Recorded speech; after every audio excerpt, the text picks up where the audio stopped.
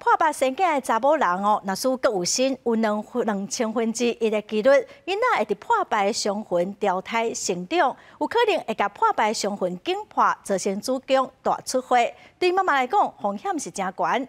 伫国外拢会建议讲，爱甲囡仔提掉。也毋过，台大病院的妇产部的团队已经成功帮几下妈妈平安生出囡仔。上新的成果哦，嘛看伫国际期刊，咱做伙来了解。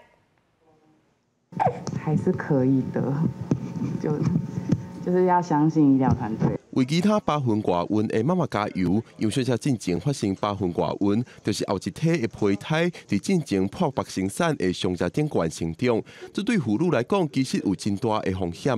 国际上拢是建议甲提掉，但是杨小姐阿某因为有新的过程并不顺利，才决定拼看卖。就是非常崩溃啊！就是前面也。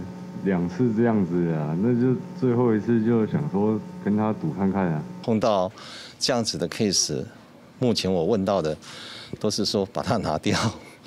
因为怕将来他会子宫破裂，就算是他活产了，可能子宫也要拿掉。但台北医表示，八分挂温风险真悬，有小姐伫了解风险了后，也是决定要生落来。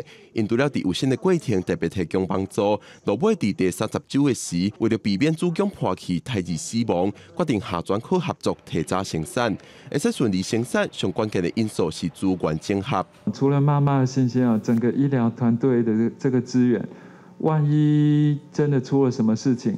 医生第一时间的警觉。病医表示，伤者会去因胚胎底下成长。根据台大病院的统计，每两千个剖腹生产的妇女，就有一个可能发生八分挂温，而且数量过来提升。